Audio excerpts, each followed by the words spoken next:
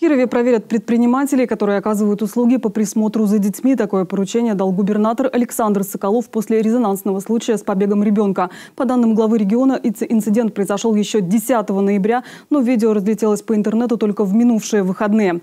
На кадрах полуторагодовалая девочка в одном подгузнике бежит по улице Чапаева. Ребенка заметил курьер на велосипеде.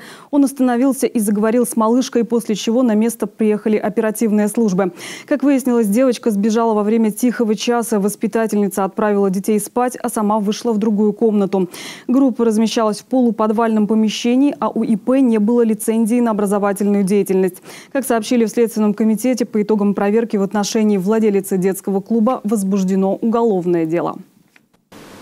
По версии следствия, владелица детского клуба оказывала услуги, не отвечающие требованиям безопасности, жизни и здоровья потребителей, предназначенные для детей в возрасте до 6 лет.